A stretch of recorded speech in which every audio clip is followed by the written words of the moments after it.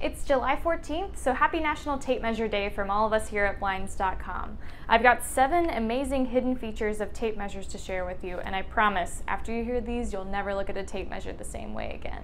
Number one, you may notice that tape measures all have a little notch in the end.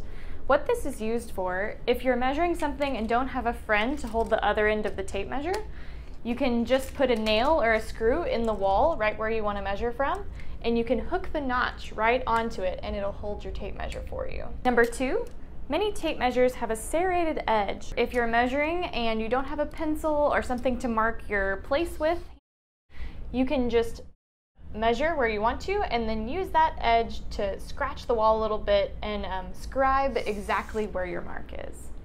Number three, you may have also noticed that the metal end of tape measures moves back and forth just a little bit.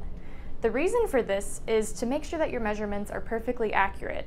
You'll notice that the on the tape measure itself, the one inch is not a full inch, it's a little bit short. The reason for this is to accommodate for whether you're measuring inside or outside um, of a window frame or something else. So if you're measuring inside, you'll be pressing the end of the tape measure against the side of the window, and by the metal piece moving backwards, that um, accommodates for um, the width of this metal piece right here, and that's exactly a 16th of an inch. Now if you're measuring outside, you don't want to count that end because it's not inside of your measurement.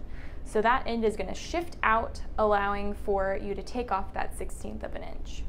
Number four, on the metal end of some measuring tapes, you can not only hook from the bottom to pull your measuring tape out, but there's a piece at the top that allows you to hook from above so that if you're measuring from below, you can still read your numbers to see your measurement.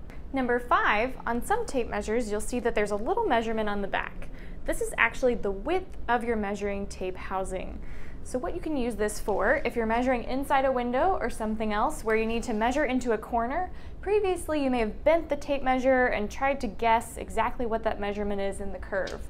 Instead of doing that, you can get a perfectly accurate measurement by putting the metal piece of your tape measure right against the window frame, um, measuring to the edge, uh, put the base of your measuring tape against the other side, Finding your measurement, in this case it's 16 inches, and then we're going to add the width of our measuring tape, so that's three and a half.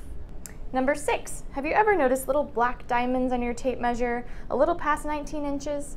What these are is they measure the standard spacing of trusses when you're building a roof. Number seven, some tape measures are equipped with an architectural scale on the backside. This allows you to measure blueprints and architectural drawings and get an exact measurement.